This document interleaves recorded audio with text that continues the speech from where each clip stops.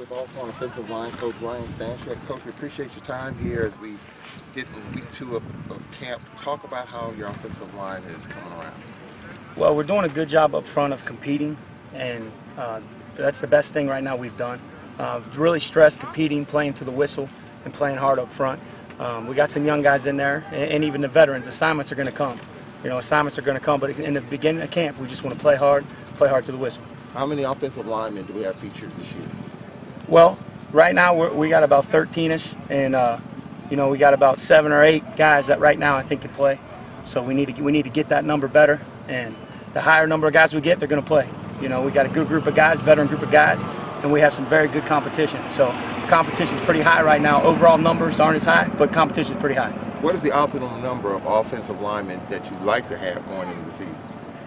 I only need five. Yeah. I only need five. You get five guys out of work, and, and to be honest, if we get six, seven, eight, even better. But we're going to have five out there that are going to compete. Talk about when you arrived. When, when did you come on board? July 1st. Yeah, I got here about July 1st, and uh, you know it's been a blessing to be here, and I'm very excited to be here with the group, and, and very lucky to be with the veteran group, and uh, you know a great offense coordinator, Coach Simmons, and a great group of coaches. When you saw this group as a whole, on film or in person, what, what kind of jumped off the sheet? Well, I was I was very surprised at how, at how hard they work. You know, they work very hard, and uh, you, you know they're a family, and that's overall the biggest thing about Alcorn football team so far has been a family atmosphere. It's been really good to be a part of offense, defense, special teams. It's been a, it's been one brave family. It's been really good. Talk about the five up front and Gazia, Scott, Reno, Sampson, Dave. Just just talk about that group. Uh, you know, they're veterans. They're veterans. They're doing a good job. You know, uh, Angazia, he's the leader. You know, we, we got a couple leaders. You know, Milk does a good job. Scott, yeah, I call him Milk. I get nicknames for all those guys. But uh, they're, they're working hard. Um, you know, the, the center takes charge on the field. So Angazia's got to be vocal, and he's done a good job of that. And overall, it, it's been a good group. We got to keep getting better every day.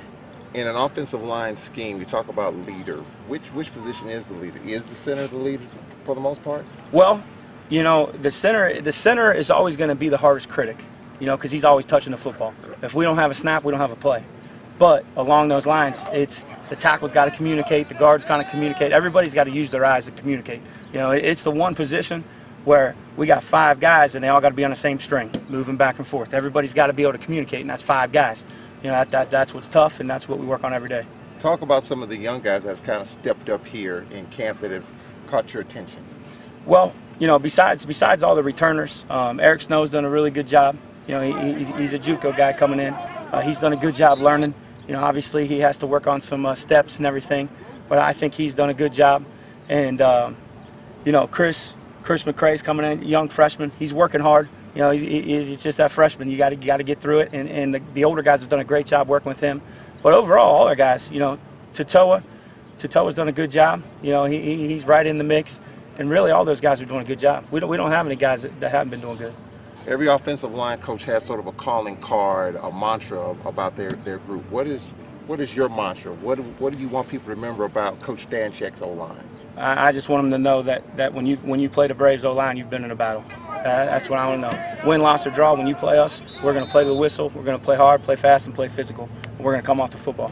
Talk about your road to Alcorn. You played at West Virginia 2005 to 2008, stops at Florida State and Indiana where you're a grad assistant from uh, West Virginia to Mississippi. Talk about it. Well, you know, in between there, I uh, I started off. Uh, I played at West Virginia. I was with the Atlanta Falcons through camp. Got cut.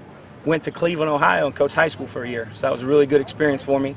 And then I went to Florida State for one year under Coach Trickett and learned learned from him. He coached me in college, so that helped. And then I went to Indiana under Coach Greg Frey, who I also played for at West Virginia. So so it's been great to learn from the two of them, and they're two of the best in the game. So it's been great to learn from them, and then I get to take take what I learned from them, and carry it on here. Pretty excited.